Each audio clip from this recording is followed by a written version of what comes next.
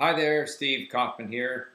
Um, I want to talk a little bit about. Uh, well, I had a an email from a person who reads my blog, The Linguist on Language, and uh, his name is Jeff, and he said, "Where do I stand on the relative importance of the input hypothesis, which is Krashen, and uh, something called the interaction hypothesis?"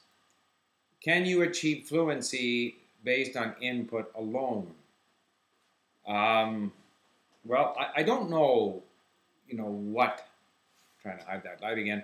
I don't know what Krashen actually says on this, but to me, and I have said this before, to become fluent, you have to speak, and you have to speak a lot. You have to interact a lot. So there is no question in my mind that input alone will not take you to fluency. Uh, what I have said, though, is that input, and a great emphasis on input, has a number of tremendous advantages. It is very effective, it is inexpensive, you don't have to depend on somebody else being willing to talk to you. Uh, you can build up your capability in the language through a lot of listening and reading and vocabulary accumulation, all of which is going to make it easier for you to interact with people. But that does not mean that that's the only thing you do. Uh, you know, whenever I have the opportunity, I interact. But if I don't have that opportunity, if I'm not living in the country where the language is spoken, if I don't have friends, and if I don't want to pay for a teacher, I'm happy to spend a lot of time on input, which is what I have done with Russian. But absolutely, I know that to achieve a higher level in my spoken Russian, I have to interact. I have to talk to people. So, yeah, I mean, you can't just get there on input alone. However, and this is where I had my disagreement with our friend Benny, the Irish polyglot, you don't need to speak. You don't need to speak, especially in the beginning stages. And I find that it's preferable to put most of my effort into input activity at the beginning so that even if I am speaking to people, I might speak to people for 10% of the time, but spend 90% of my time initially getting the language in me. Uh, I also believe that there is no need to worry about one's performance early or really at any time, we are not performing, we are communicating. So, uh, worrying about you know how well we pronounce or pitch in Japanese or all these things are just unnecessary burdens. Worrying about get the, getting the grammar correct at, at early stages, uh, these are all unnecessary burdens. It is quite sufficient to focus on input and build up your vocabulary. I mean, as an example, I'm now going back to reading Anna Karenina uh, in Russian. When I was fighting my way through it a couple of years ago on LingQ, there were 50% or more words that were new to me. Today I go there, I open up a chapter of Anna Karenina in LingQ. There's 10% new words. That includes names, that includes different forms of words that I already know. So there's relatively few words there that I don't know. Now, some of the words that I supposedly know, according to LingQ, that are all highlighted in yellow, I may refresh them, but basically I know them.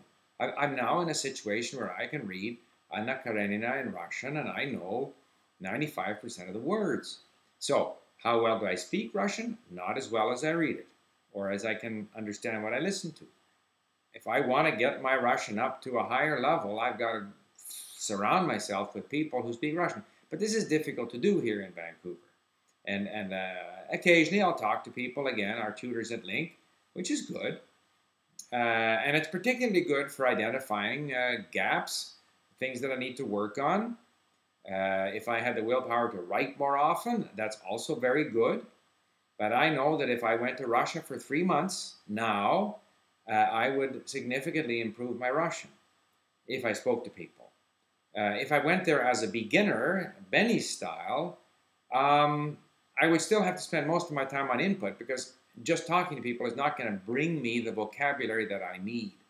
And ultimately, and this gets back to this discussion about pitch, we had this person worrying about pitch in Japanese, and he wrote something on our forum. And to me, it was obvious that he didn't have the vocabulary, he didn't have the words. So focus on getting the words, and everything else is going to fall into place. So, yeah, absolutely. In fact, the way I look at, at you know the way we acquire languages, it's not something that we're putting building blocks one on top of the other and building this knowledge of the language that we study chapter one and we know everything in chapter one and then we do chapter two and we know everything in chapter two. It doesn't work that way. It's I've described it as walking in the fog and the fog is slowly dissipating or it's like a jigsaw puzzle and the more of the pieces of the puzzle that come together, the more other things start to become clear. And it's not obvious when these different pieces of the puzzle are going to come together.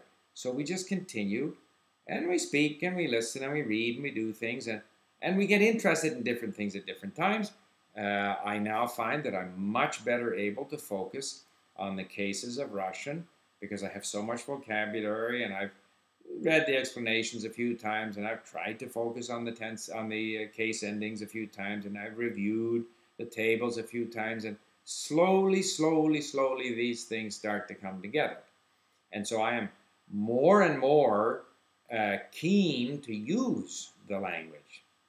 Uh, so I'm ready for it. So what you want to do at different times what you're ready to do at different times it's all going to vary as the pieces of the jigsaw puzzle come together. And certainly a big part of achieving genuine fluency is speaking and speaking a lot.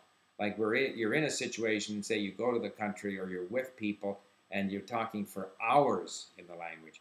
Now, in order to talk for hours in the language, you have to have a lot of vocabulary.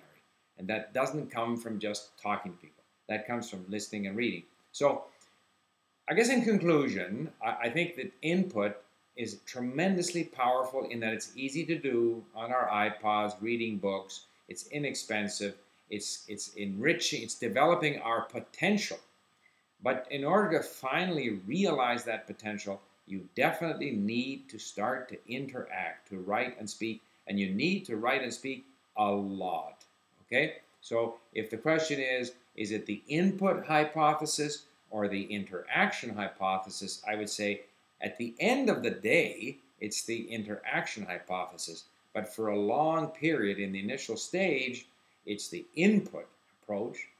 And more than anything else, it's the enjoyment hypothesis. People should do what they like to do, and not get impatient, not get frustrated, not put unnecessary uh, pressure on themselves, worrying about pitch and things like that just enjoy the language, enjoy communicating, and as you feel more and more confident, uh, get out there and interact with people.